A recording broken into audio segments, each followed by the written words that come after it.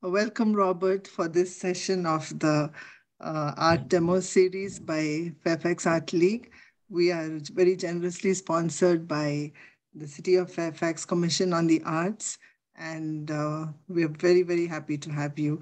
So please go ahead. Hello, everyone. My name is Bobby. Robert is Robert E is my name, but I, I, I prefer to be called Bobby. Um, uh, I can tell you that uh, I am, um, although I teach at Mason and speak with hundreds of people, I'm very nervous now. I don't know why. it was fine with three people, uh, you know, in the in the room, but it seems like now it's just gotten um, a little bit more um, pressures on. But let me introduce who I am. Um, like I said, my name is Robert Yi. I am a I am the, currently the assistant director at the School of Art at George Mason University and also the interim director of painting and drawing. I'm an assistant professor that teaches painting, um, and I've been I'm, I would say that I'm a local here, not in the city of Fairfax, but I've grown up in Northern Virginia all of my life. Actually, I was born in Seoul, Korea. Came when I was four years old in the 70s. So that kind of gives you how, an idea of how old I am.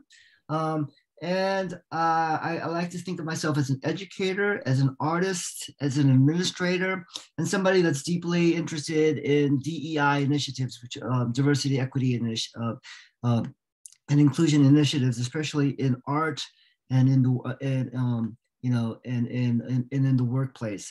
Um, Another thing I like to, uh, uh, another thing I do a lot is portfolio reviews. So um, a large part of my job well, in the past has been, um, and what I do here is I review portfolios, um, art portfolios for students when they enter into college. Um, before I was at George Mason, I've been at George Mason for about um, four years now. But before George Mason, I was at uh, the Corcoran College of Art and Design um, before before George Washington University had taken that over. So I'd been there for a long time. There I was the uh, director of continuing education and um, a pre-college uh, program. So um, what we did was set students up so that um, give them training on how to present, uh, to create a portfolio in preparation for submission going to art school. And here at Mason, I continue doing that by reviewing um, studio portfolios. So anything that having to do with the, um, the visual arts, uh, I review portfolios for admission to the school. So I look at, I look a lot at, I look at a lot of art and, um, and I review a lot of art. I've done a lot of jury, um, a lot of a lot of jurying in this area for the Torpedo Factory in Bethesda, in Fairfax, um, uh, and in Maryland as well. Um, I've had solo shows in Fairfax, uh, in um, in Manassas, in Italy, and um, in Berlin.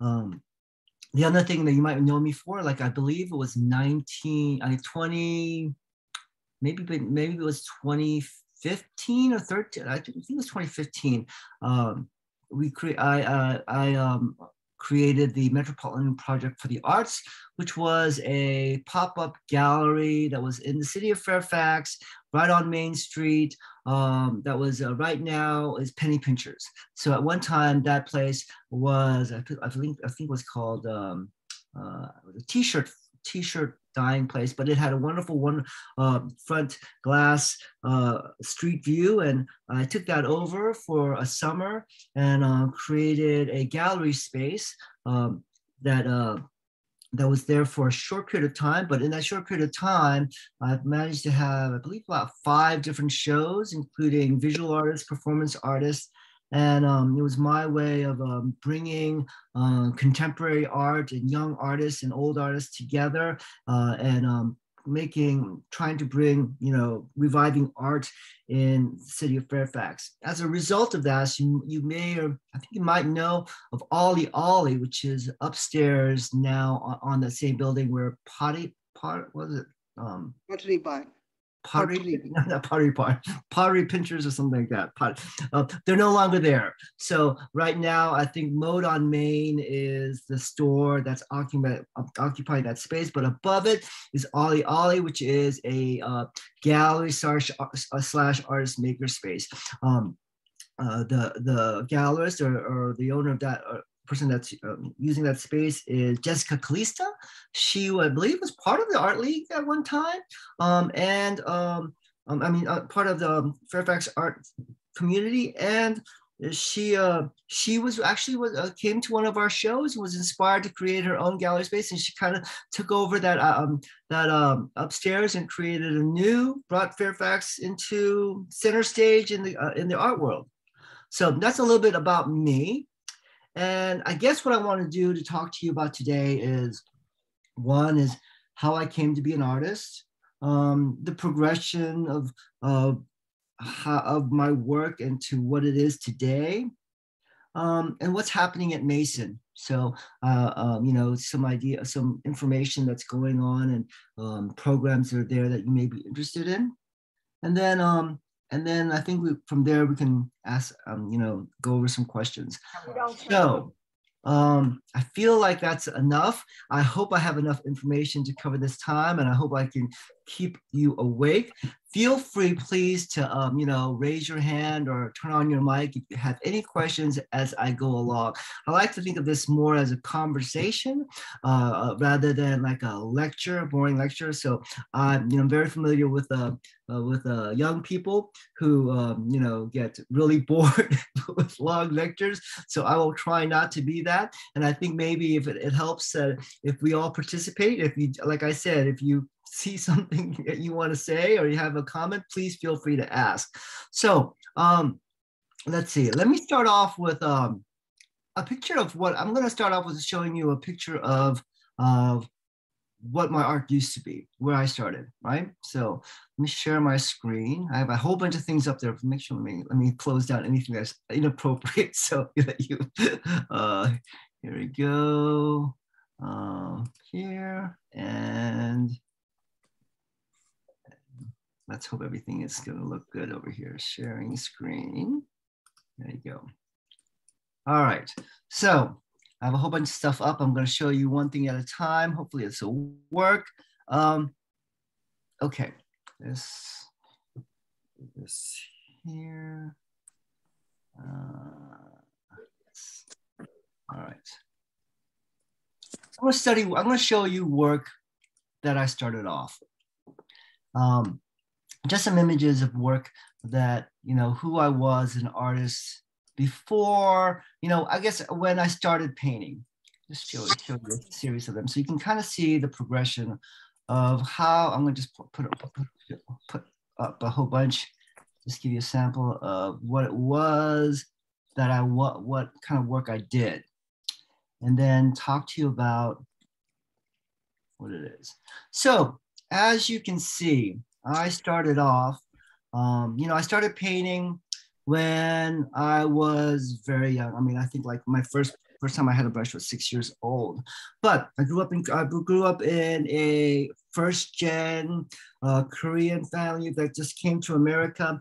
You know, the thing about that is that when we come to the United States back in 1972, families, you know, the goal was for us to have, you know, success and live the American dream and um, be successful and be, you know, prosper in America. And the idea of my parents of me wanting to be an artist did not fall into that plan. So, and um, you know, I've always had an inkling to to draw, to paint, to be creative, uh, but that was discouraged right? The idea of that was that, you know, you became here to America so that you can become a lawyer or a doctor or a, a successful person in America. Being an artist is not going to be uh, take you there. Uh, being an if you want to do that, you might as well. And back in the 70s, I guess, uh, what have what uh, the people who created movie posters were actually painters. They made they, they painted large posters of like what's happening in, like in the theaters, and they would say, well, you know, if you want to do that, you might as well be a, a movie poster painter. So um, this is not what you want to do. So I went, I continued. So I listened to my parents and said, you know, and also say that you know art can be a hobby you know do that for fun but you need to be serious you need as you as a you know as the first son the only son in america Your job is to make it here and be successful. Um, and I went through that. I, and I, I, and I admit that I um, did pretty well in school. I went to UVA and I majored in foreign affairs and graduated with a BA with internet uh, doing um, studying international politics and went on to getting a consulting job in international business. Well, that lasted a short time, right? Um, you know, I, I, I mean, if I was doing it, but I was not happy. It was something that it's felt like. Um, I think the thing that um, made me realize that this is not what I want to do was um, was coming out of the metro. So like you know we, we, get onto the metro station Falls Church, and then you go out into Washington D.C. You come home, and then I saw the like it looked like a scene from a zombie movie everybody was in their suits. Back then when, people wore suit and ties to work would come in the briefcases they'd be walking out of the metro drained of energy going home and repeating it over and over again. Uh, and it felt like uh, like a machine doing something in a machine and not really doing something that was um, that fulfilled my soul and made me happy. So i decided to go back to school you know, I went, to, I completed a BA in foreign affairs and international politics, and I did what they, I mean, I tried out what they wanted me to do. In fact, I even tried going, um, you know, doing the medical school, um, medical school stuff because I guess I found out that was not going to work because once I did biology and chemistry, I didn't do too well. And that just that just kind of explained that that uh, that that world is not for me. But I went back and applied to get my Bachelor of Fine Arts um, and uh, at the Corcoran. Um, and then there I progressed and decided, and then everything worked out. For uh, I think one of the thing, the difference was is that I was doing something that I was passionate about something that I, I really loved doing, something that was um, something that like uh, it had I had full interest in. The classes that I were to- taking were like I was engulfed in, like art history, art theory. I, I wanted to know, I wanted to soak up everything that has to do with art and why it came from, where it came from, who did it, why did they do it. Um, and um, you know, I continued on and to uh, um, get my master's in fine arts and for me, and I think a lot of it is because that I really wanted to do, I was really passionate about what I was doing and I wanted to be engulfed in what I was doing. So I was fully immersed in everything that was art. Um, and doors opened up for me. I mean, I, I got, I, uh, got shows, I, um, you know, got jobs that were related to art. Um, you know, I was got to be an administrative, in administration, in art administration, and higher education, and um, and that really worked out for me. But when I started painting, I actually learned painting in a different way from most people. I think um, people go to, um, and I think the, so when when the fir- when I first went to art school, which was at the Corcoran, you know, undergraduate, the way that they taught art in painting. It wasn't like, okay, this is what you do first. You know, you create a circle, giving you like the traditional academic methodology of how to paint a painting. Rather that, that what, what they rather did was, you know, do what you do and let us see what we can do. Let, let's see what we can, um, let's see what, how we can make what you do better. And there's a point to why they do that. But, you know, be, when, before going to school, you know, before going to art school, my idea, we all had an idea of what art is, what painting is, what's supposed to look beautiful, right? And my way of learning how to paint was copying. So I copied art, right? And this is the way that I learned to duplicate, you know, by duplicating work, doing studies, I was able to see how to mix colors by trial and error uh, I was studied, I, I understood how brushstrokes, how people, how different artists use different brushstrokes.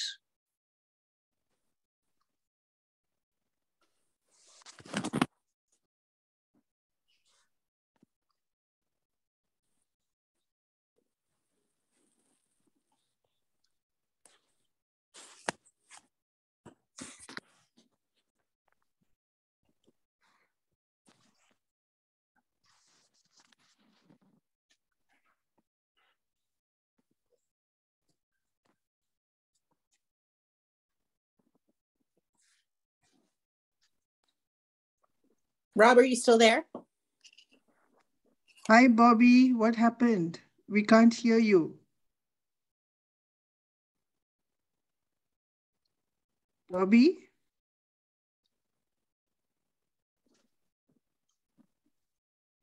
We lost him. Yeah. Do you have his phone number? Send him a text. Oh, dang it. This is a crazy session today.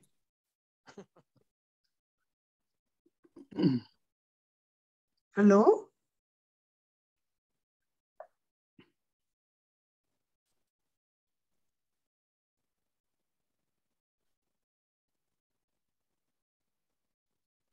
Well, I, I, guess I guess I um cut off for a second. I don't know what Yeah, you did. You did. Yes. My- I think my Wi-Fi might have gone out. I'm using my phone Wi-Fi, so I think I think that's a good thing that I had this emergency. Um, Okay. where did you Mm. all hear me left off? what was the last thing you hear me say? Uh, Cortes. Can you all see me? yeah. Can you all hear me? Yes. Just want to get just so that I know where I left off. Where was the last? What was the last thing that you heard me say? You were saying that um, you learn how to do different styles and learn different brush strokes and um, be, by copying art. You were right. at the okay. at the red vase picture. Oh, okay. Okay. So yeah, so I learned, so I learned basically I learned how to paint by duplicating things. And at the same time, I had in mind what I it was embedded in me, um, what art is supposed to look like. You know, so we all have a conception of like what is what what is what is art? What is I mean, what is painting supposed to be? You know, how is it supposed to be done? There are some, some you know, traditional Western European basically I was learning those things and also um, believing kind of like you know thinking that this is what art looks like so my work that I did going forward started to look very similar to something that had been done before so the originality you know wasn't there you know even a painting like this a figure a figure painting which was done from life it's very traditional academic painting. It's a pretty painting. I mean, I, I think it, it has all, um, you know, all the elements of, um, you know, having a good composition, showing the lighting, brushstrokes and all that. But um, does it do more than that? You know? So in art school, you know, I think that, and I think it all depends on which art school that you go to. Uh, there are schools in New York that, that emphasize traditional um, traditional, traditional academic painting. There are other schools that encourage, you know, conceptual, contemporary, um, you know, more of uh, more of uh, you know work that has coming from from from individual expression. Well, after doing years and years of years of duplicating work, I might have mastered the technique of painting but what was lacking for me was individuality, right? So the question of like, you know, if we saw these paintings, well, here's the thing. So this is an original painting from life. This portrait is actually an original painting from life. It's not a duplicate of anything. But the question is, if this painting was shown, is there any distinction that would say, oh, that's a Robert E. painting? right? What makes this painting any different from another person's painting, another artist, besides the fact that you know uh, that I, I that may be original in the fact that it's from a you know painting that hasn't been done before. You know, it is a good example of academic painting and shows lighting and color. But what does it add to the language of contemporary art? You know, and you know it made me question what is an artist who is an artist right? And and what is our job? And and and you know what role do i want to play? And i think i think that i mean for me the explanation of who an artist is or what an artist is i think there's a difference between a, a hobbyist right and an artist. So what i mean by that is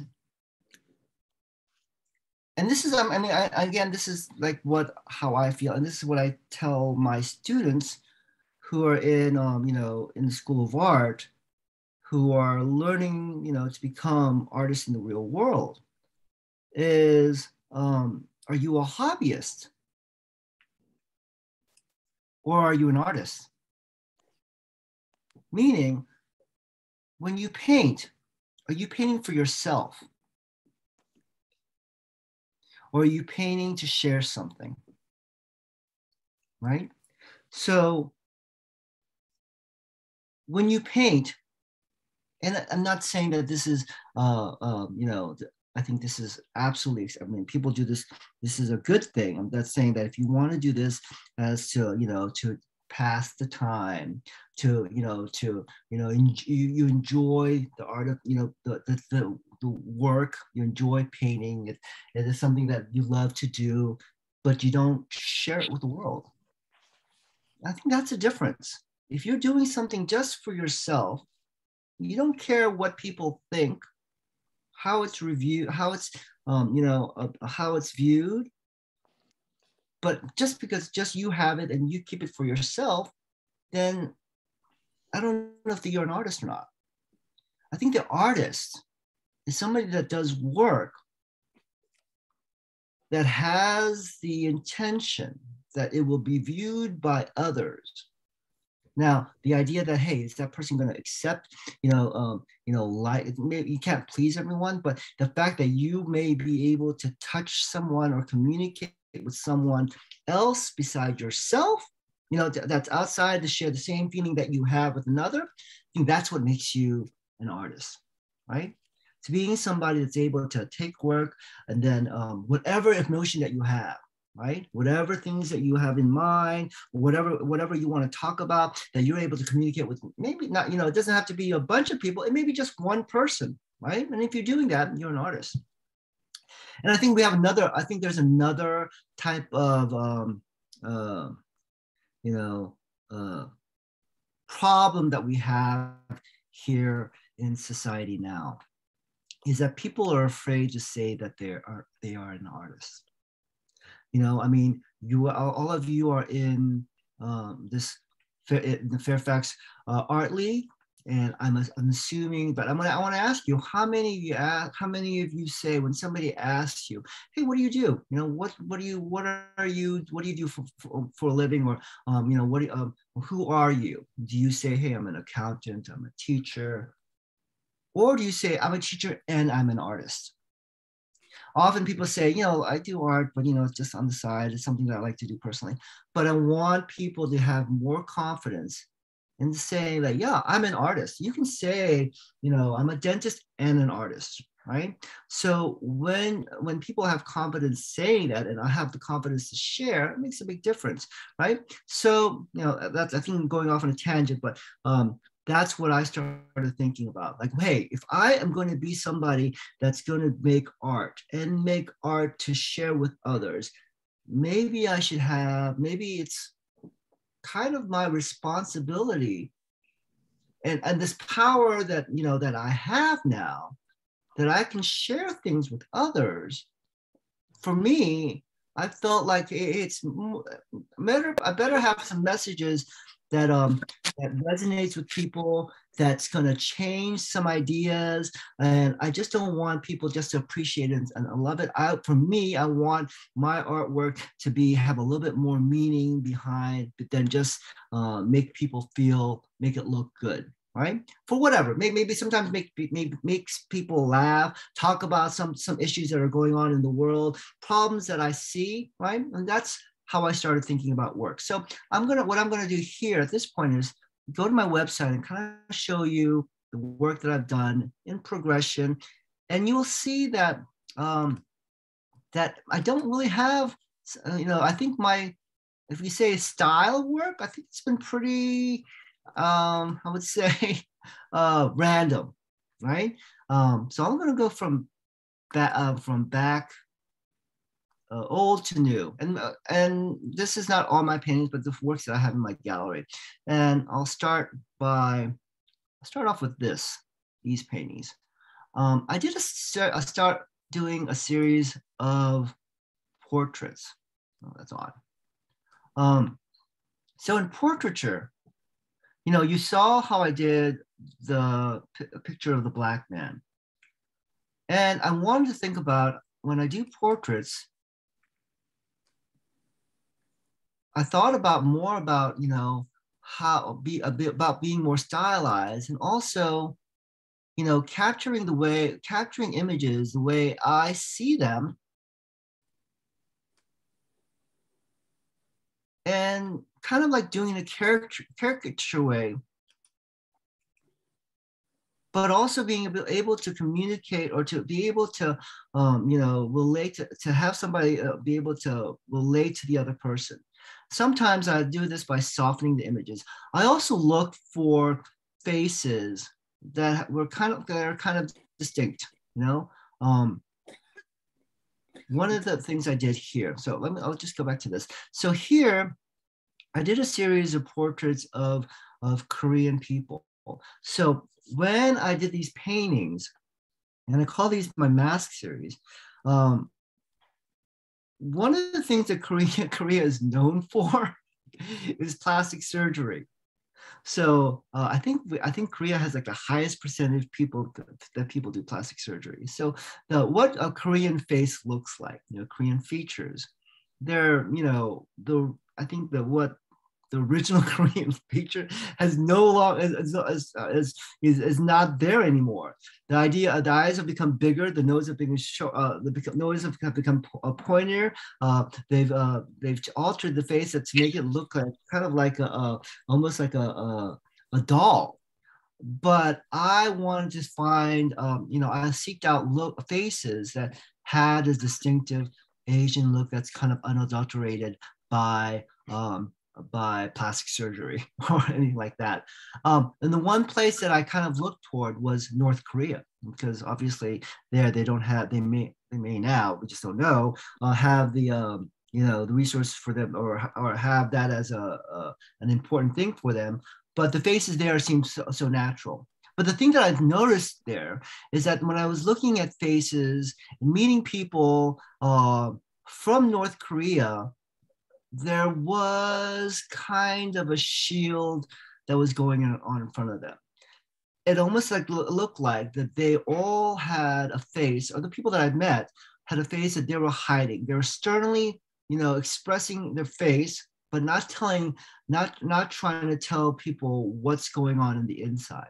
You know, the so I thought that you know the concept was that um, you know these people in North Korea are there uh, and um, you know, showing in government and in, in videos and in, in, in, in propaganda that they're like, you know, they're happy and they're, they're enjoying their life, but inside they're not happy at all. So I thought them, I thought of them as having wearing a mask.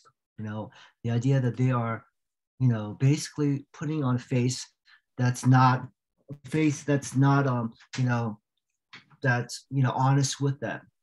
Um, but then I heard about an interview with a with a with a, a North Korean, and we kind of put this idea that you know these people must not be happy, but you know ignorance is bliss. Maybe their world and their idea of what you know their idea of what is good and what is happy and what is successful, what is joy in life is there, and then the mask that they're showing is just for us you know, saying, you don't know what's going on in my mind.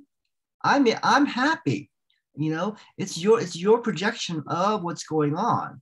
But, or on the other hand, it's the opposite. You know, they are, they are imprisoned in the, in forever putting on a face, putting on a mask and not expressing who they are. But thinking about that, I mean, is it really just related to North Korea? Don't we all do this every day? You know, all of us, you know, continue, uh, you know, all of us put on a front, put us, put on um, an image that we want the public to see.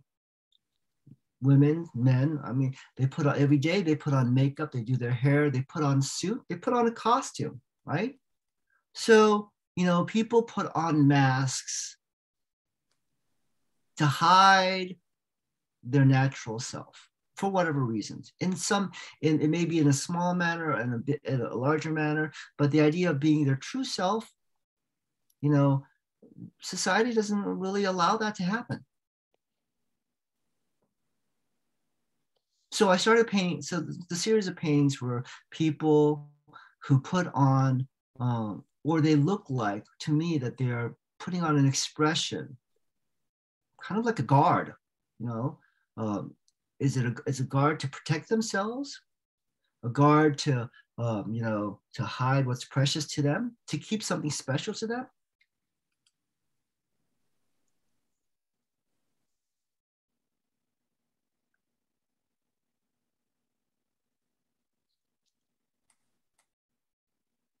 and I started I started um, you know altering the faces, finding the details, the highlights. You might consider a, a, a caricature. You know, I think one of my um, professors back then they say complicated, not complicated but complicated. So simplifying the sim- simplifying the face features, you know, and then um, in, enlarging things, but doing it in a way, painting in a way that's more, um, you know, having a, painting in a way that's more complicated. This is Jenny Wu. She's actually uh, right now uh, uh, like being represented by Morton Fine Arts. She is uh, she graduated American University. Uh, she um, uh, her work has now does she does a lot of like um, work that's made out of layers of paint and cut into pieces and made, makes mosaic.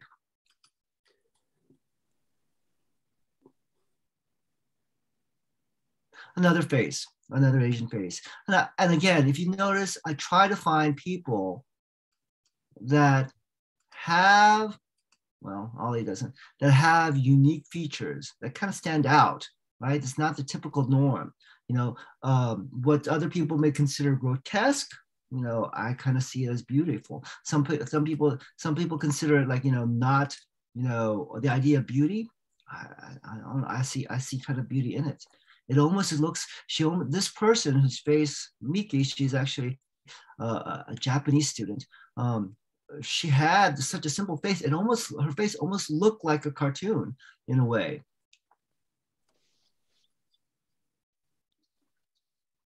Then I did a series of what I called, uh, you know, Korean Gothic. You know, so I, I don't know if you guys are familiar with. Uh, there's a painting called American Gothic. It shows uh, an old man and his in the painting it's a wife, but it's actually his sister uh, in there. But in the same way, kind of like showing the idea of mask again.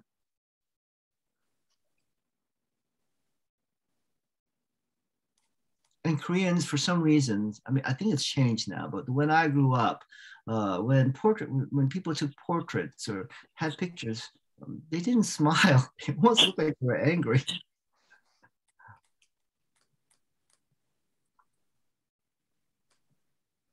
This is Joan. Joan just recently passed away from cancer, so young. But again, she was, she was somebody, again, with features that were very unique, you know, not the typical. So I had to paint her.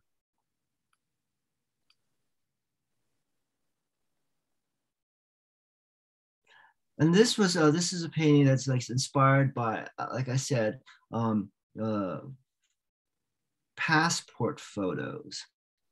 So this is my sister at a very young age, um, you know, scared and trying to be, a, and you know, the, I think the photographer said, you know, trying to make a smile, and at the same time, she is kind of terrified at the same time. Another another form of a mask. So this is Lil Kim. Actually, the reason why I want to show you that is I was going to do a series. This is when I was starting to do some, uh, and I was working on the North Korean paintings uh, of Kim Il Sung. I thought it was funny. His face was so funny looking. Um, but uh, I did. I, you saw Dolly before. One of the things I was planning to do is a series of paintings, Dolly, Dolly, and Dolly. So so uh, Dolly Parton, Dalai Lama, and uh, Salvador Dali. It's, it's just a project that I was thinking of, but I think I'm gonna. That's something that's gonna I'm gonna do later. Okay. Again, with the stern faces. Uh, uh, Bobby, could you just also tell us a little bit about how you go on the canvas. What is your process on the canvas? Sure. So, you know, the traditional, so I mean, although it may not look like a traditional academic painting, and I think I stylize this in a way. Uh, the way I approach painting is very much old school, traditional um, way that was done uh, by doing a gel. I do an undercoat of painting. Uh, I do, uh, uh, and I start off with a yellow ochre. I uh, prime the canvas. I do a monotone, monotone painting of the picture, and then I build it up by glazes. So it is in the form of, um, you know, of, of, of the Pet Masters way of painting where they didn't use it wasn't about the brush strokes but about the buildup of paint. So the color so i want to show you in this example here. So this painting originally started off just as a yellow ochre monotone painting. The color that you see on her skin is not a color that's uh, like a, a, a you know a purple color that's on there it's a layer that was built up. So it was yellow ochre first. And then it was a, trans, a transparent white. And then a, uh, then a, uh, uh, what's called uh, uh, a, a, a, red, a tone of red, all using, I use the medium called uh, Maroger medium, which is kind of toxic now. Uh, I don't use it anymore, but it's a combination of all, uh, linseed oil, beeswax, and um, and lead. so, but this this what this allowed me uh, the paint to do is to have a um, um, to be translucent. So everything was done. Um, everything was built up uh, in with layers of paint, even the black. This was originally brown, then blue, and then you know, then layers of color until you get to that uh, to the um, to the color that you want. In the same way, when we look at skin, we look at skin and we see we know that it's a buildup. We see it if you look at your hand, you'll see green, you'll see red, you'll see blue. All those things are underneath, and that's how I build up the color. And that's my approach. That's how I've been doing most of my portraits. I've been doing things a little bit different now, but that is a traditional way that I paint. Um, so the idea of showing brushstrokes it's not something that uh, you know that I, I uh, that I worked on. It's more about showing the uh, the layer and the uh, the the um, brilliancy of color by creating layer, and also having almost like a glaze. Because each time I do a layer of paint, I would varnish it, and then do another layer of paint on top of that. So it almost it's almost like a, it's one's sitting on glass on top of glass on top of glass, so it kind of floats up in front. Yeah, they have that luminous quality, you know, which is so wonderful.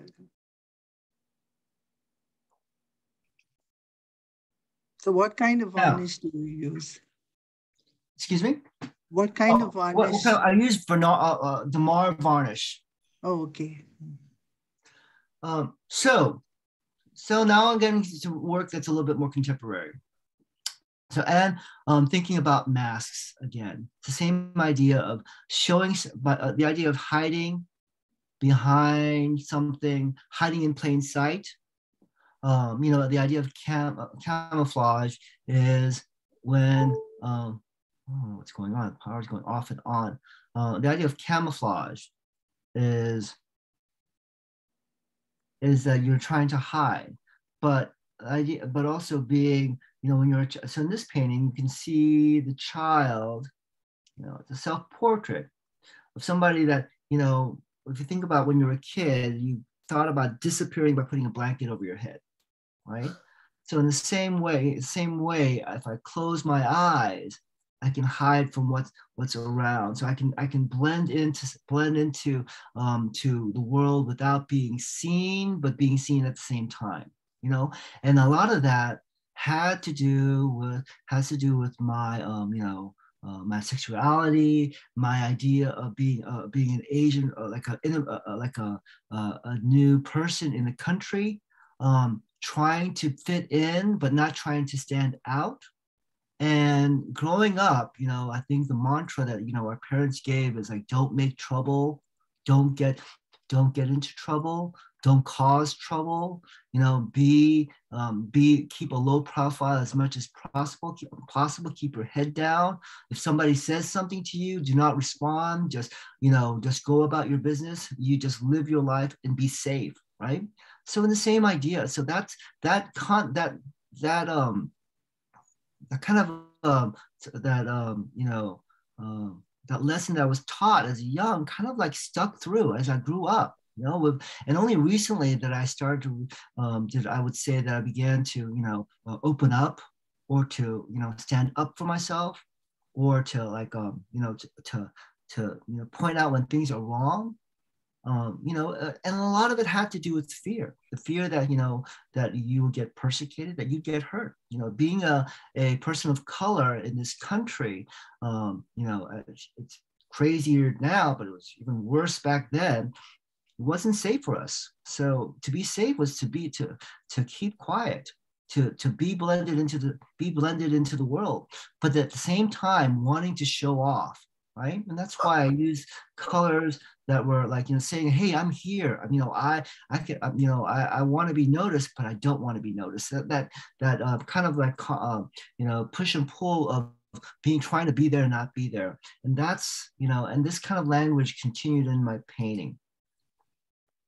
So, you know, um, what I've learned, they say that being passive, the most harmful or most violent type of emotion for a person is not anger or greed or love. They say the thing that's most um, causes more problems or, that causes more uh, pain is being passive, the idea of being passive aggressive you know? So, or having the most impact. So if you think about it, if somebody says, I hate you, and then somebody, rather than that, not somebody that doesn't say I hate you, but does all these hints to indicate that they hate you. What is that? Like, what do they say? Death by a million uh, cuts? It's kind of like in the same way. In the same way in painting, the way that we can do most, uh, I thought the way that I can be, send out the message that I want the best, and the best way to be most effective is by being passive aggressive. So when we do paintings, when we have these messages, it's like saying, hey, I'm trying to say something.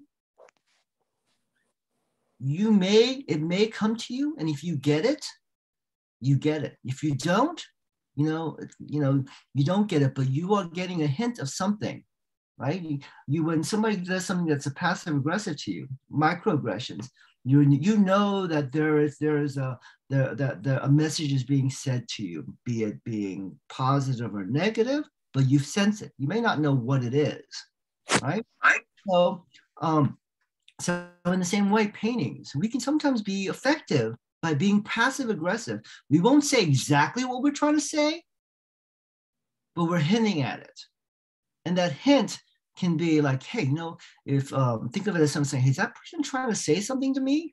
Is that person is that person really, you know, making a comment, a statement that's, you know, and and I thought about that way, and I thought about how I can express ideas by using imagery, being passive aggressive, be positive. And in this painting, you know, I was thinking about patterns and spirit animals. So this was, you know, at, at some point you want to start painting things that will make you you know bring joy to yourself or kind of express who you are uh, rather than in a dark way but you know show out your happy part and so this is my spirit animal spirit animal and i see myself as a penguin. So it's a kind of like a, uh, you know a fun painting that i did using patterns uh, and showing and what it doesn't show here this painting actually has a silver um, uh, what's it called? It has a it's painted, not painted, but uh, has silver foil all around the edges. So everything having the idea of uh, having worlds has a silver lining and then there's always one black cloud in the sky that you have to deal with and you know you just need to persevere and go forward um, and you know feel like penguins kind of do that. So this is my penguin painting. Um, you know and then you know again all things doesn't always have to be dark or sad or mean and I learned this lesson in a painting when I was doing a series of paintings. So for me, when I do a painting, I kind I get, I get deeply immersed in it. And I, I think all of you understand when you get into a zone, you keep going with it. Um, I did a series of dark paintings that talks about uh, pain and anger. Uh, and frustration, and it really affected who you know my psyche and how I was feeling. Uh, kind of, kind of, you might kind of relate related to somebody that's a method actor right? So that they get into a role and they can't get out of it. So the idea, so I started thinking, okay, maybe it doesn't all messages don't all have to be, um, you know, serious. It can be fun, it can be light, it can be happy. So I thought uh, this is a painting of what I call Mighty Tidy Whitey, the idea of somebody just um, a portrait of somebody just in actually Salon Doré and at the Corcoran, um, you know, flaunting around in his underwear. Nothing, nothing, um, you know, offensive, but funny enough. So that started. And then more portrait. This is just another portrait I did. Uh, this is a, a, person I met in New York. Uh, he I calls himself a bon vivant. He just was. Uh, he just had a, a face that well, that you just wanted to paint. I painted him earlier. It was a Scully. Um, so I did a few more paintings with him as a subject. Then again, starting to simplify. And then I'm looking at patterns.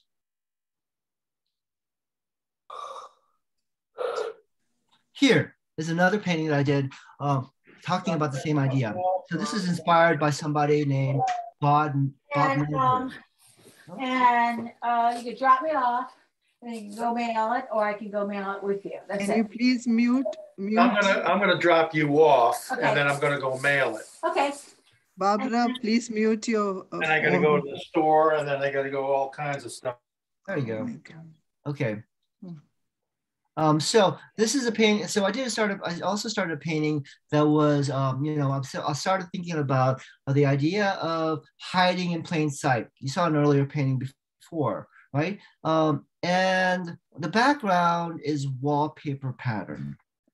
The idea of being being somebody being a wallpaper, somebody that's being, uh, you know, uh, being a wallpaper at a party, right? So being um, not being trying not to be seen, but be seen at the same time. So Bob Mizer was a photographer back in I think the 60s or 50s, and he was known for male physique paintings. And these magazine these magazines were, you know, sold at your dime stores and your drug stores, and you know, it was under the idea of showing, you know, the the the, the ideal male physique, how men should uh, uh, aspire to in the way that they look. But on the surface that that's what it was um, you know what people it was shown to the public. But in actuality it was a homoerotic magazine. And people ordered it and not for that purposes uh, but for like it was basically like the playboy of its time but not in not shown into the public. It's shown in, in, in into the world. It was just uh, and it was accepted as like oh it's an acceptable male photography magazine. Um, and the idea that this man is obviously, I mean, the idea of being, being showing his sexuality, but being hidden at the same time, kind of like uh, being uh, being uh, hiding in plain sight again. Again, so the idea, so uh, uh, with the same idea of using the idea of wallpaper, you know, the idea that it's a decorative thing that's on the wall it's it's there but it's not you know not it's not it's not the focus of what's there. It's the furniture it's the people in it right? So uh, how people um, want to be viewed but not to make waves. Not i want to be seen but not seen. Um, the idea of like uh, you know uh, uh, um, kind of like almost in fear of, the idea that not wanting to be, uh, you know, making too too much to be noticed too much, but noticed just enough. Same idea, wallpaper.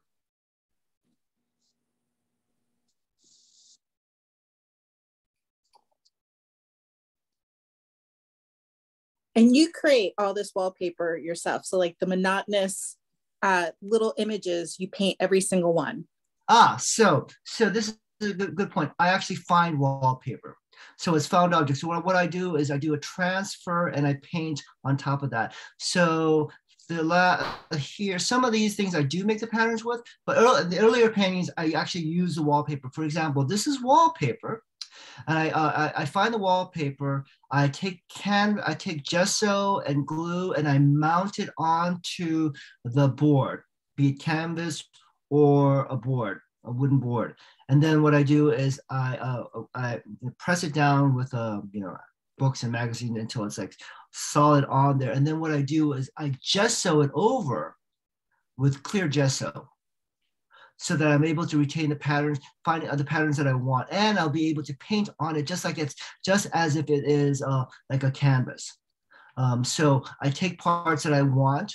So this the, the wallpaper here has been simplified to the uh, to to um, to the look that I want. So as you can see, some some parts are uh, colored in, some parts are not. I change the color scheme of it right? But I retain the pattern, kind of like kind of kind of like that's almost like a tracing, being able to a simple, a good, easy way to trace these images. You know, when I was thinking about these wall uh, about these patterns, I had to think. I was thinking about, hey, what would be the easiest way? What would be like a good way to do it? I started off trying thinking that I could project it. That was, you know, that was really really difficult. In fact, the um the spirit animal, the the the, The penguin. um, penguin that's what I attempt to do here. This is me projecting pattern onto the canvas and then tracing each one. So I found different patterns that I wanted and I tra- and I projected on the screen, having to make sure that they're all going to be, you know, uh, you know, not warped. So that was that caused. This is well, I got to find a different way. This is not working out for me. This is this will take way too long. So I found that actually, why don't I just get the pattern? Why don't I just put it onto canvas? Why don't I just why don't I, why don't I just transfer on the image and then go from there? So uh, like here, I put the canvas, I stretch the canvas, I mean the, the wallpaper onto the canvas. I gessoed it. And then I white gesso. So I, what I did, I create, I actually um, did a, uh, I actually took paper and uh, did the shape, outline the shape of what I wanted to paint for the four figure, and I traced the the the the, the outline of the figure onto the canvas, and then I white so the background of the body so that it's not going to come through. Right, and then and then I was able to paint. And some parts I I made some parts I kept clear, so I able to retain, um, bring some of it through. I, so it looks like it's coming. Actually, here actually kind of just continue the painting over um, you know, try to continue the pattern on top of it. But I would use white gesso the parts that I wanted to be opaque, not showing the background, and use clear gesso to, you know, change it. So obviously this this ba- this wallpaper did not kind of look like this. I gradient, I, I brought a gradient into it. I blocked out the parts that I want and chose, you know, created the pattern that I want, but using the stencil of, you know, the background for it. And this, this is the same thing I did here, here, and here, all using wallpaper. Again, wallpaper again, same idea. Now, um, this one, I wonder if I could show you. Uh, here's um, this is another uh, a, portrait that I, I did for with a, an aunt of mine that passed away. And, and here I thought, hey, let me just make my own pattern. I don't know if it's that successful, but I'm happy with the the idea of, of um, the kind of switching the the portrait using monotone and, and the muted color. Now, this is a series of paintings that I did. I started simplifying with the idea of what portrait is. So these three, is it four paintings? These three paintings, one, two, and three. These are actually, the images from this is, um, is they're from, they're called Hwatu cards. And I think the Japan, it's actually come, originally comes from Japan, Japan, but they're also used in Korea. They're Korean playing cards. They're little plastic cards. Um, they're about maybe, they're really small. They're hard to handle, but they're, they're, they're basically poker cards. But these are this is a series that's a portrait of my father. You know, sometimes uh, a portrait doesn't necessarily have to be the physical form of the face, but what represents who or things that you know brings the memory of who that person is. Well, my father passed away of, of Parkinson's, and you know his who he was in the last part of his life was not the person that I knew for the majority of my life. You know, coming into Parkinson's and and the later stages, and I think it had a little bit of dementia and Alzheimer's. Um, that person that you knew no longer exists because um, the disease has taken over. The, uh, the mind has um, is not firing. So we become the you know we I had to take care of him. He was not in his mind. So I had to find ways where I can remember my father and what the, the things that uh, I knew when he was happy and joyous and just full of life. And one of the things that he loved to do during New Year's was play this poker game with, with these cards. And each of these cards represents a season. I don't have I don't I don't have one of the seasons. I think it's the season. I think it's the month that he passed away. And I deliberately took that one out. But you know, I recreated these cards larger as a series, as portrait of my father. To me, to me, I know what it's about, you know, what the what the story behind it is and why I love it so much. But I also wanted to create something that's aesthetically beautiful and you know people can find relationships to it too for korean people uh, these cards have different meanings for for several people. But for me um, you know i wanted to kind of honor my father in the way of creating an image and uh, that that would brought happy memories to me. Um, then i started having fun. So here's the thing with uh, so about the idea of camo about the camo and uh, and, the, and, the, idea of imagery. So this is Camel B. I had another painting called Camel Camel, which was a camel on top of a camel, and this was just me, uh, just me, uh, me exploring the idea of juxtaposing um, different things and putting it together uh, to create imagery. Um, so this is a fun painting that I did. Um, COVID hit, and actually this painting was actually a traditional painting and then I covered it in uh, green paint afterwards. Uh, portrait in COVID. Uh, and actually, these paintings that I have here are when I had to start pay, uh, teaching class from in, from my house on Zoom, teaching students how to paint. So uh, I don't know uh, the uh, how difficult that is. I mean, especially we're not um, YouTube projection, uh, you know, producers that are able to have good cameras and lighting. We had to do a whole bunch of DIY to create, you know, teach demo and teach how to paint. And this is uh, one of the paintings that I did as a demo, um, you know, in class, including this portrait. I was into showing how to do patterns. Uh, and as you can see, this is a, a, very traditional way of painting a portrait. This was just a, demo for it. I use this just so that I have a painting for my bio part in my uh, website. And then I thought about and uh, and then simplification. You know, we see a lot of uh, uh, emojis and stuff like that. I think in Japan and Korea, the idea of kawaii, which is the idea of being things that are cute and simplified, which has another meaning. So um, I started to do a series of painting that just had you know shapes.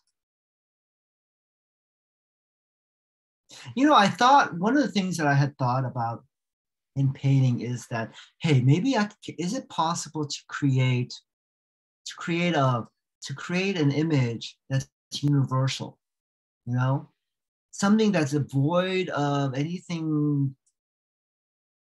that's you know specific but just something that you know that if i look at it every across the board everybody will have the same emotion. Everybody will laugh if they see this.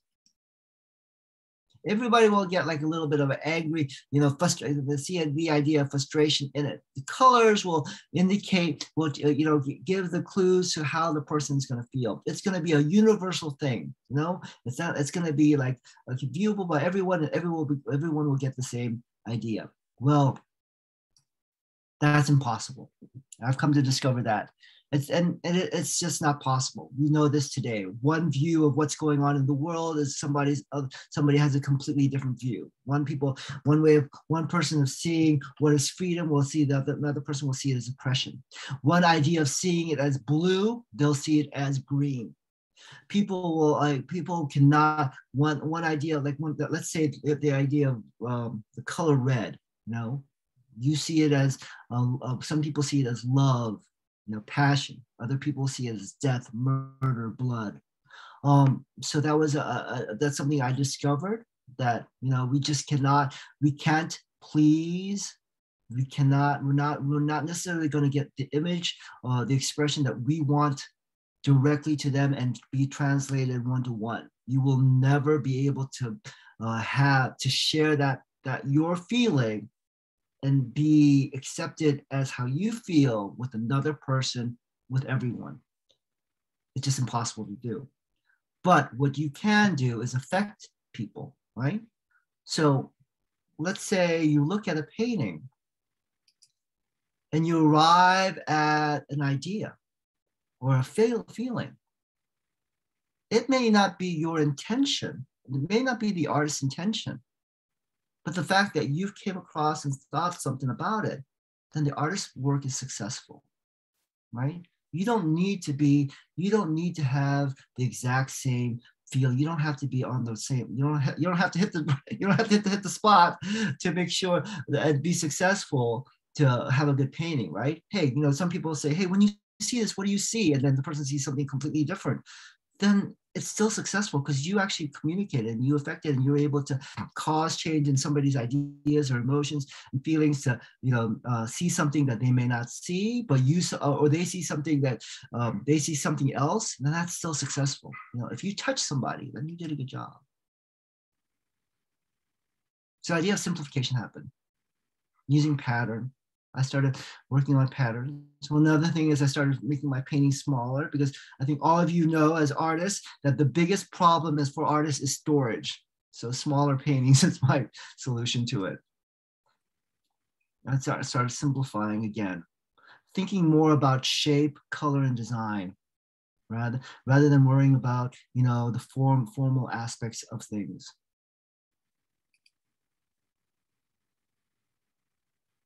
Getting back to you know what is what colors look good how how um, you know how can we work with design shapes and and the idea of simplification and looking at patterns?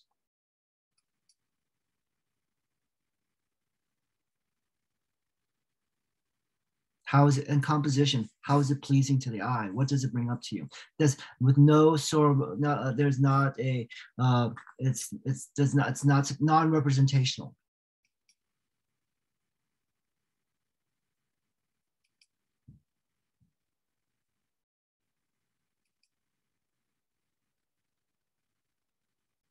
just looking at pattern.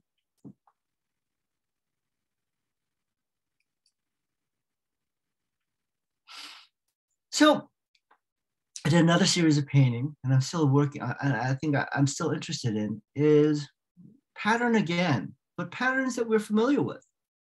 You know, this is in the background is Louis Vuitton. Um, you know, his floral pattern with the with the with the LV on it and just juxtaposing a Buddhist monk um, that has void that is supposed to rel- relinquish all things material in a background just juxtaposed by something that's completely material. And I think I was inspired by this painting because when I was where I don't know where I was, I think I might have been in New York, and I saw a Buddhist monk and I think he was like where like he had like a Gucci bag on him, something that was like really weird. That he was like he was supposed to be you know somebody that's you know completely you know void of material things, but had like you know really late brand name label things, and I kind of thought it was kind of funny.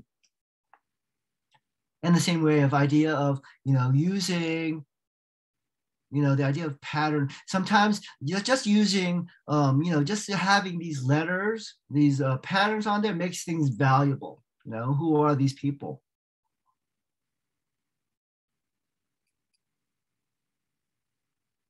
I did this again. So this is where I thought about using, you know, hey, why why relinquish what I was doing in the past? where I was being a copyist? Can't I bring that together with what I do now? So here, this is a painting I just finished recently, is um, I, I juxtapose Michelangelo's Sibyl, it's on the Sistine Chapel, and putting the pattern Louis, Louis Vuitton on, on in the background. Same here, Speed Racer. You know, I would say this is on the, the world of pop art. Hey, does the value of this painting go up just because I put the LV on it? You know, when we look at art, do we look at the when we look at art, do we look at the label of who created it, who who bought it, or do we actually look at the art itself? You know,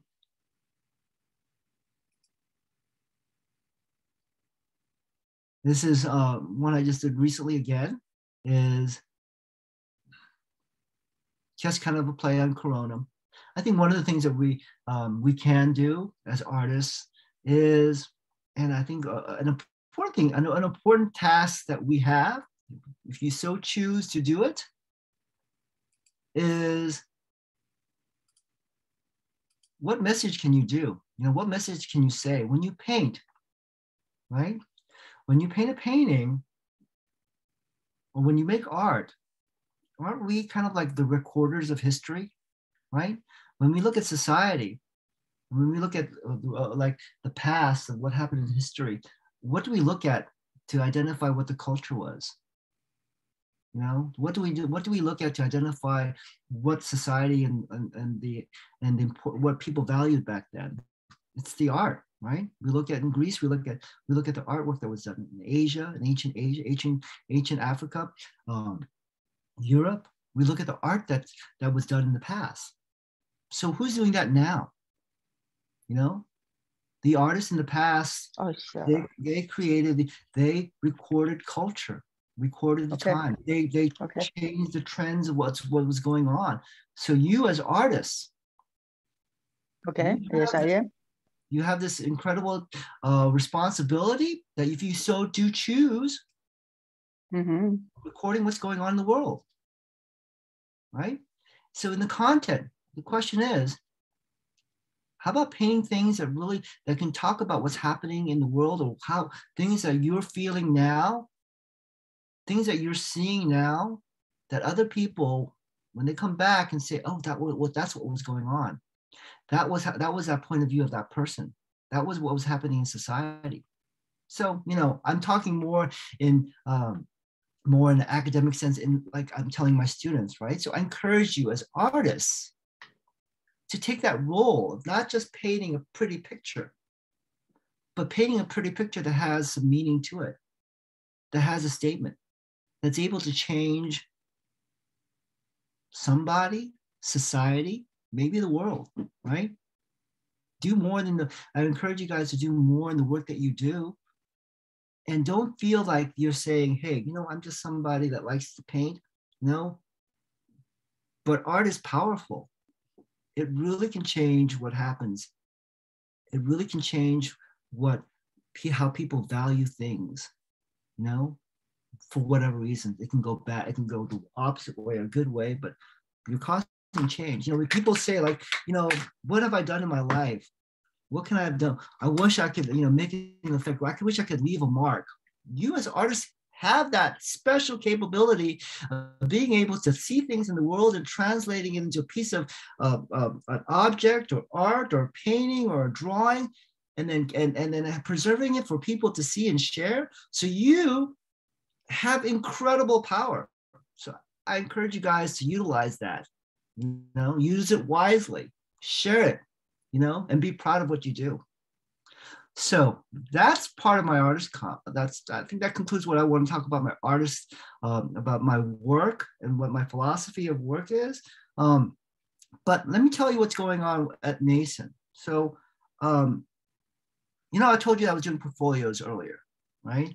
So one of the things that we're really working on is DEI initiatives and the idea that we want to encourage everybody to have be able to paint to draw and to photo- do photography and sculpture and all those things and not just people who are privileged right? And before the idea and this is something that we're discussing right now so you can you, i'm giving you kind of like an earmark of what's happening or what the plans are in the school of art. So the, the idea came before we would we would let people into the School of Art by how well, how talented they were, right? And the portfolio that they submitted. Luckily, in our area in Fairfax County, we have uh, a very, very um, robust and well-funded art program with art teachers that they're able to prepare students and train students to be, you know, fantastic. There are a lot of people who don't have that. So when we look at portfolios, we're only looking at people that had that training, you know, and that, you know, somebody that had that passion had encouragement to do so. But there are a lot of people who would never get that opportunity because they never, they might not have had an art program or may not may, may have, have come from families that didn't encourage you know showing creative side being more practical so what they say. Um, and so we're talking about eliminating portfolios. The idea that hey we should let everybody in you know if you want to become if you want to major in philosophy in college you don't have to show a portfolio about philosophy you learn to become a philosopher you learn philosophy when you get there right engineering school you know, there's not a portfolio. There's, you know, you have to show good grades, but same idea. You know, we could, everybody has the potential to be good artists. Maybe they're not going to be, our idea of what is good art and what is technically good is not there. But people, everybody's able to, you know, have a place in the art world, and we want to give that opportunity to do so. So the question is, if we should, the question that we're discussing right now is the idea of eliminating portfolios altogether, allowing everybody to, to come in and do, uh, giving a chance for people to express work. You know, and I know um, looking at um, your community, the art, the um, the Fairfax Arts, I keep on saying Art League, it is Art League, right? Of Art League, I'm guessing a lot of you always had always had a passion and maybe starting later in life doing what you wanted to do, doing art, right? You finally have time and finally are able to, you know, do something that you're really passionate about. But what if you had that chance to flourish and explore when you were young? You know, what if you had that opportunity and was told, yeah, that's a good path too, right? What if you had the opportunity? What if you were told, hey, you know, that that you're good enough, or you you you you have the capability? Where could you have done now? You know, you might not be an artist, but you might how um how how art is in your world may have affected you differently, and how how and and also how confident you are in what you do. So this is why we're idea of the idea of like um of equalizing the field and giving every opportunity. I believe art saves the world. I think it saved my world, my life, right? So it it's it feeds my soul. It makes me happy, and you know, makes me be the person I am. And we want to make sure that everybody has that opportunity to. I, love- I didn't think we can speak for an hour, but I'll open it up for questions. Yeah, I was going to say, I love the idea that you were talking about removing portfolios, but maybe it's removing portfolios to the extent of the way you are using them now, because I think people need to create art to get into an art program, whether it's, you know, good art, bad art, whatever. I mean, but who says it's bad art? I mean, it's, I guess it's your all judgment kind of thing, but um, maybe it's not portfolios in the sense of judgment, but portfolios in the sense of, okay, you're willing to put art, put in art, whether it comes from, you know, experience or just from doodling and dabbling and stuff. Um, is that, you know, or how do you judge? Uh, because people and children all have the idea that art is easy, going into an art program, that's easy, that's an easy A kind of thing. I don't know, like just kind of throwing that out there. Yeah, you know what? So I mean, that's a that's that's why it's being discussed, right? So it's uh, it is an idea that is you know a lot of people don't. People think, hey, you know, you have to show some sort of talent, some sort of interest in it, right? But there are so many people, right? And we th- we thought about we kind of kind of did an experiment also.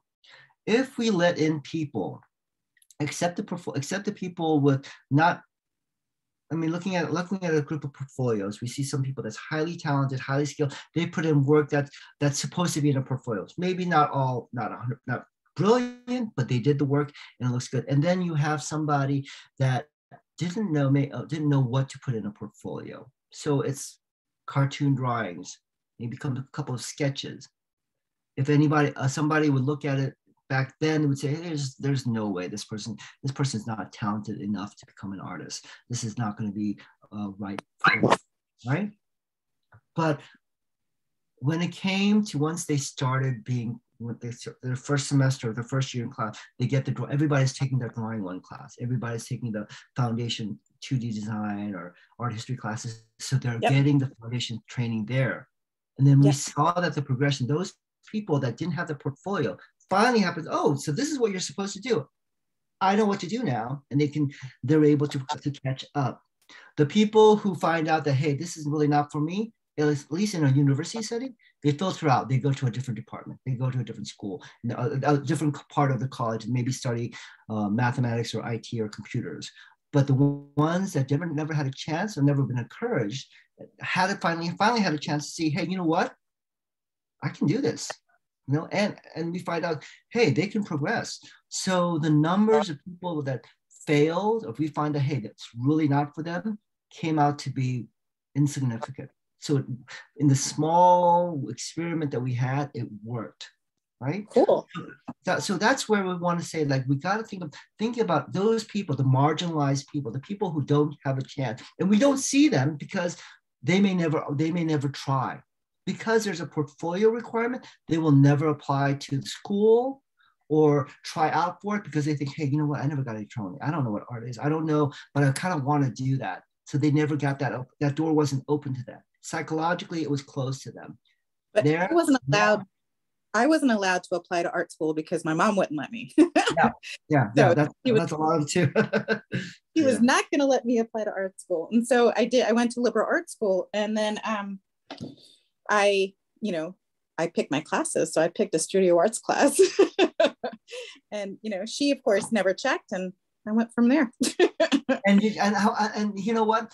I can't tell you the number and it's awful of students. And so one of the things i do is advise our undergraduate and graduate students and the number of students who come in hiding what they're studying or doing double the studying because their parent they don't want their parents to know that they're doing studying you know things that i think are actually really you know viable in the world graphic design right? They don't want their mom to know or their parents to know or they'll get angry.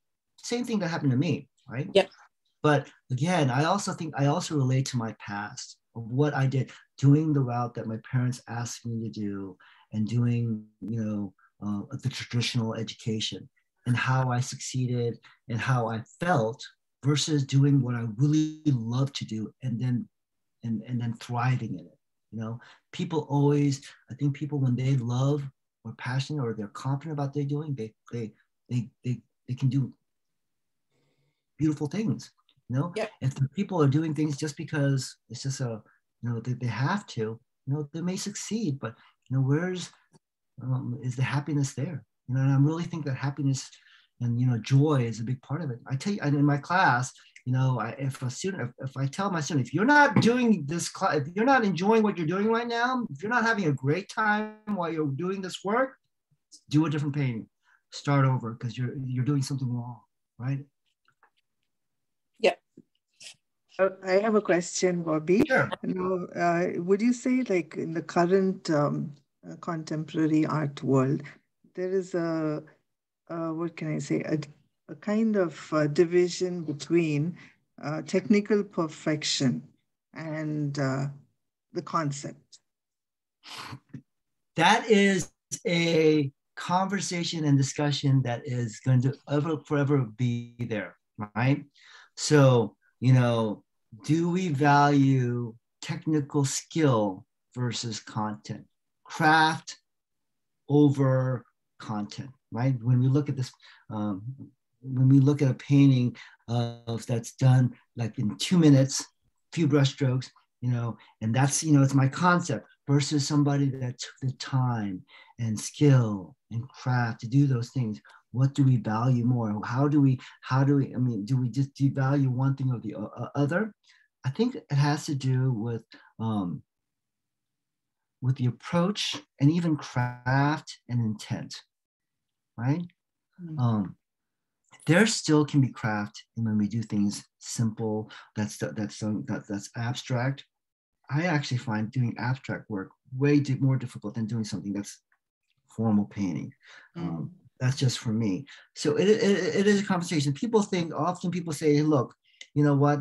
There's no technical skill in here, right? I also I know professors who uh, who um, really uh, against my my, um, my what I, do, I totally do not agree on is um, they would uh, give a student a lower grade for doing work that's not as good as another student.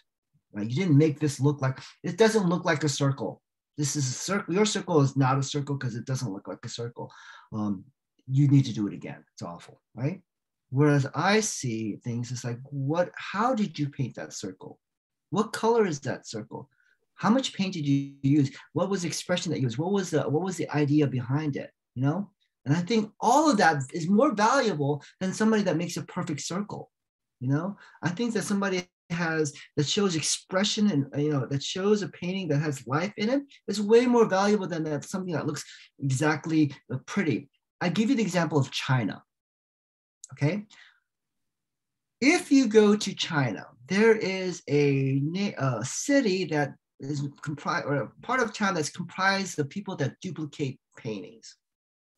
Their entire they they do replications of of, of masterworks like a factory. Van Gogh, um, you know, Leonardo da Vinci, all the old uh, and, and current uh, current artists too. They just they're able to, you know, technically copy a painting like you know, like no and and rapidly too. Then they ask these these people, okay, I want you to do a painting that's your own. They weren't able to, right? Same idea. The thing is, the content, the idea, the meaning is way more valuable for me than the craft than than the skill or technical technical ability to it. And I think we also have, if we want to duplicate things, we have photography, right? There are too many ways that we can actually copy something. I think originality and you know having the show of you know your physicality to work you know has more meaning to it when i think sometimes you know when i look at a child's painting like i'm talking like a three-year-old's painting and i look at somebody a college person's painting that's been um, you know trained to teach uh, um, taught, taught to paint a specific way i find more beauty in the three-year-old's painting because it's not affected by what people have told them what art looks like it's not affected by what what's supposed to look good. They're just freely expressing what they see onto paper. And the beauty in that is so much more creative and more inspiring than looking at, you know, like a, a, a really well done portrait. Thank you. Yeah. Okay.